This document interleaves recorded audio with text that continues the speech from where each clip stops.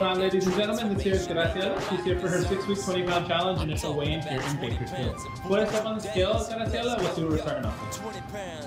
We're at 175 Good morning. We have Graciela here. She is doing her final weigh-out for her 20-pound challenge. And um, she started with us at 175.3. Are you excited, Graciela? Yes. Are you ready? Let's get you on the scale.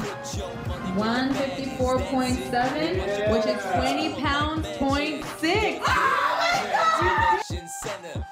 up now and don't be a stranger. Your vet's funeral is coming.